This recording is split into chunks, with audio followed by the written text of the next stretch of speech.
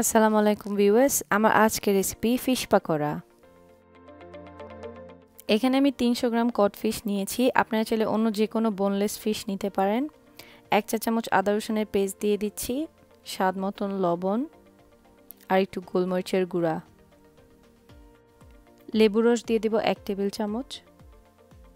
তারপর সব কিছু খুব ভালোভাবে মিক্স করে নিব। ব্যাটারের জন্য এখানে আমি এক কাপ ময়দা নিয়েছি। এখানে আমি এক চা চামচ কাসুরি মেথি দিয়ে দিচ্ছি। কাসুরি মেথিটা অপশনাল যদি দিতে পারেন তাহলে টেস্টটা আরও বেটার হবে। স্বাদ মতন লবণ দিয়ে দিচ্ছি। ব্যাটারটা আমি স্পার্কলিং ওয়াটার দিয়ে গুলিয়ে নিচ্ছি। স্পার্কলিং ওয়াটার যদি না থাকে তাহলে হাফ চা চামচ বেকিং পাউডার আর নর্মাল রুম টেম্পারেচার পানি দিয়ে ব্যাটারটা তৈরি করলেও হবে। এখানে আমি তেল খুব ভালো করে গরম করে নিয়েছি। এখন আমি ফিশগুলোকে ব্যাটারের মধ্যে ডুবিয়ে ডোবা তেলের মধ্যে ভেজে নেব। তেলটা খেয়াল রাখতে হবে অবশ্যই যেন হাই হিটে থাকে নাহলে পাকোড়াগুলো মুচমুচে হবে না। এপিট ওপিট করে পাকোড়াগুলো ভাজতে আমার মাত্র চার থেকে পাঁচ মিনিট সময় লেগেছে। সুন্দর বাদামি একটি রং হয়ে গেছে, এখন আমি পাকোড়াগুলোকে তুলে টিস্যুর মধ্যে রেখে নিব এক্সট্রা তেলগুলো ঝরিয়ে নেওয়ার জন্য।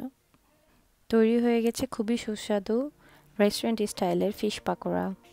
আমার এই রেসিপি যদি আপনি বাসায় ট্রাই করে থাকেন, তাহলে প্লিজ কমেন্ট করে আমাকে জানাবেন।